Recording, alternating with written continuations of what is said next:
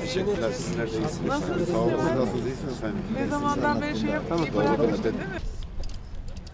Arabaya binerken ayakkabılarını çıkar. Şahitlerimizdir.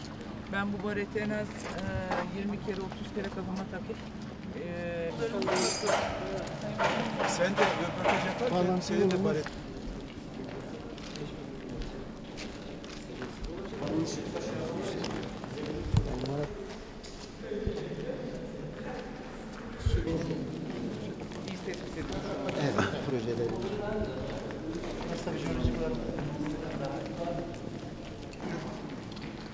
Sayın Bey buraya geldiğinde e, beraber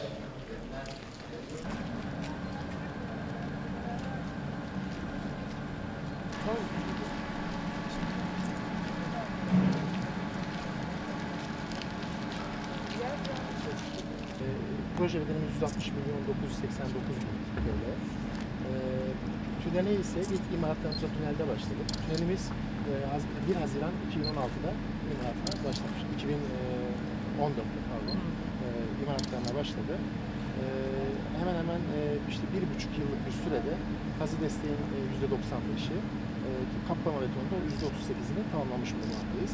Hedefimiz Kasım ayının ilk haftasında kazı desteği tamamlamak, e, Şubat ayının sonunda da nihai beton tamamlamaktır. Kömürhan Köprüsü faaliyetlerimizde yine aynı şekilde Haziran e, 2014 tarihi itibariyle başlamıştır. Kazı 200 bin metreküpe yakın kazı destekleme imalatı yapılmıştır temel kazısı. Oradaki köprümüz de tabii çok özellikli bir köprü, teknolojik köprü. Ülkemizin yeni tanıştığı köprülerden daha evvel nisipli ve alınla yapıldı. Bu da özellikli bir köprü. Bizim köprümüzün diğerlerinden farkı tek ayak üzerine olması. Ayak yüksekliğimiz 168,5 metre. Son imalatlarında hem de temel arka bloğu imalatlar olarak başlamış bulunmaktayız. E, projemizi e, Allah'tan mani olmazsa 2017 köprü Kasım uzunluğumuz ne kadar olacak? 380 metre. Açıklık olarak 380 metre yalnız Tünelimiz tamamı 660 metre. tamamı 660, 660 metre. Gidiş dönüş Evet. 660. hesapladığımızda. Tabii ki. e, Tünelimiz tünelimiz 2410 metre, 410 çift tüp 4820 metre olarak adlandırıyoruz. Ee, içerisinde 4 tane araç geçişimiz var, 2 tane de sığınma cephemiz var. Peki Şubat'ta hem köprünün hem tünelin bitiş tarihi, proje bitiş 2017 e, Kasım olarak planlıyoruz. 2017 'nin sonunda inşallah tamamlayacağız. Şu an burada kaç personelimiz çalışıyor? Şu anda 225 personel, şeyle, taşeronlarla beraber 225 personel. Hı. Tabii köprü imalatları tabii bunlar iş programına göre değişirken olabilir. 300'ü bulacağı zamanlarda olacak. Tünellerimizde Karahan ve Erkenek tünelleri normalde zamanında başlayıp ama bitirilemeyen tünellerimizdi. Zemin problemi. Zemin probleminden kaynaklandı ve zemin problemi bizim için eee, uzamasına, teslimin uzamasına vesile oldu. Ama bugün eee, Malatya'da eee, köprünün başlayıp tünelin Elazığ'a kadar devam etmesi bizim için çok önemli. Malatya-Elazığ arası duble yolu tamamladık, bitirdik. Şimdi gelince Kümürhan Köprüsü'nde çok ciddi bir daralma oluyor ve tek gidiş tek geliş yapılmak zorunda kalıyor. Dolayısıyla o Kümürhan Köprüsü'nün genişlemesi gerekiyordu. Daha evvel bölge müdürlüğümüzün hani hazırlamış olduğu animasyonu da biz vatandaşlarımızla paylaştık. İnanılmaz derecede güzel. Dağdan e, tek ayakla çıkan köprünün ayağı ile birlikte bu tarafa tünele çok ciddi bir bağlantı yapılıyor ve o, o görkemli, muhteşem görüntüyü biz Doğu Anadolu bölgesine, bu bölgeye kazandırmaktan çok büyük mutluluk duyuyoruz. Şu an Malatya'da yapılan iki tane tünelimizin bitişi en az iki sene önce olması gerekirken Karahan Tüneli ve Erkenek Tüneli'nde zeminlerdeki maalesef e, yumuşak çıkması ve e, sert zemin olmamasından kaynaklanan bataklığa saplanmalarından dolayı çok ciddi manada sıkıntılar yaşadık. Ee, inşallah Karahan Tüneli'nde bölge müdürüm inşallah kış girmeden oradan geçişi de sağlayacağız diyor. Bu bölgeye yapılan bu tünelin, e, köprünün bölgemize hem Doğu Anadolu'na hem de Güneydoğu'ya çok ciddi katkısı olacak. Hem mesafe olarak kısalma olacak, hem virajlardan dolayı Allah korusun kazalarımızın yoğun yaşandığı bölgelerde kazalarımız azalmış olacak ve Elazığ'la Malatya'nın arasındaki Gönül Köprüsü'nü kuvvetlendirmiş olacağız ve mesafeyi daha da kısaltmış olacağız. Bu proje e, Türkiye'nin çok önemli projelerinden bir tanesi.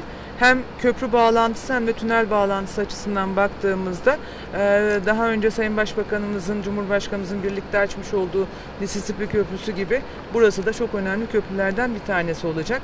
Malatya'da başlayıp Elazığ'da ucu bitmiş olacak ve Doğu Anadolu'nun 16 tane ilinin geçiş güzergahı konforlu bir geçişi hem de daha kısa mesafede yolu kat etmemize vesile olacak.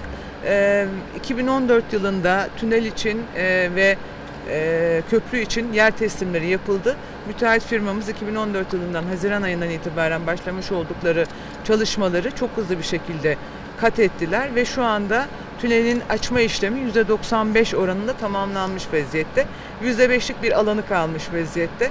Ee, aynı zamanda betonlama işleminin de e, şu anda %35'i gerçekleşmiş vaziyette.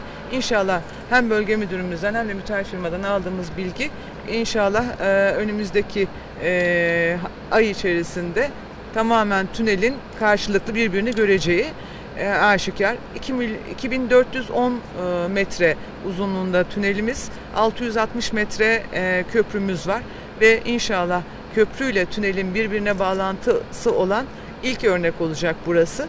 Doğuyu Orta Anadolu'ya ve Akdeniz'e bağlayacak, Güneydoğu'ya bağlayacak ve yatırımlar seçim olmasına rağmen seçim hükümeti olmasına rağmen 7 Haziran geçmiş ve yeni bir bir Kasım seçimine geçiyor olmamıza rağmen yatırımlar son hızıyla devam ediyor. Birileri yatırımları engellemeye çalışırken, birileri yatırımları bombalamaya çalışırken, birileri ülkelerin ülkemizin menfaatine olan hizmetleri bombalarken biz hizmete devam ediyoruz. Hükümetimizin başlatmış olduğu bu yatırım hamlesi, Cumhurbaşkanımızın vermiş olduğu destek, Başbakanımızın vermiş olduğu destek de her an her dakika devam ediyor ve duble yol e, yapılan bu Malatya Elazığ arasındaki yoldan geniş yoldan birden gelince Kümürhan'da daralıyorduk. Ve o zaman kazaların da çok yoğun olacağı düşünülüyordu. İnşallah bu köprü ve bu tünelle kazaların da önüne geçmiş olacağız. İnsanımızı öncelemiş olacağız. İnşallah çok önemli ve çok büyük yatırım. Biz yatırımlarımıza hiç durmadan devam ediyoruz.